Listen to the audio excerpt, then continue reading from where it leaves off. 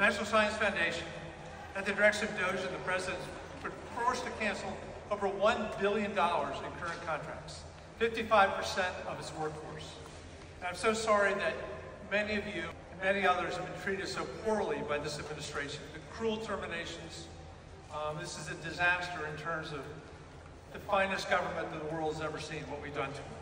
So we really look forward to being part of a science fair for canceled grants, at least giving you some opportunity to talk about the important work that has been halted, at least temporarily. The somber truth is that with the cuts to the Trump administration, really important research is not going to go forward in the short run.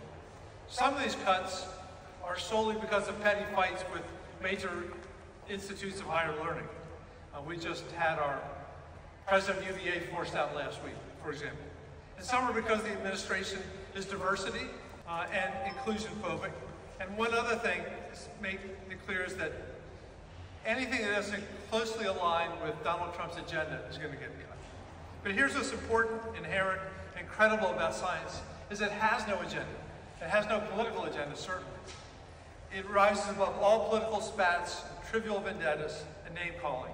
I think all of us in this room know that. For so long, our great nation has been the envy of the world when it comes to scientific innovation, technology, Nobel Prize winners, um, way more than any other country in the world. And now our leadership is at risk, and America is in danger of falling behind.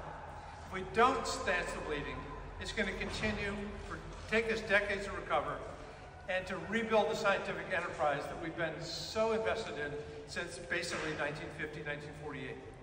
Today we get to gather and see up close um, these wonderful posters and talk to the scientists, the solutions to some of our biggest problems. Hearing for children, uh, ALS, cancer, the many, many other research that we're seeing here today. Um,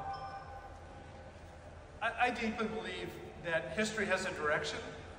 That if you go back to Claude Shannon and Bell Labs in the late 1940s, when he first developed information theory, his second theory of information was that there's always more information in the universe this instant than there was an instant ago.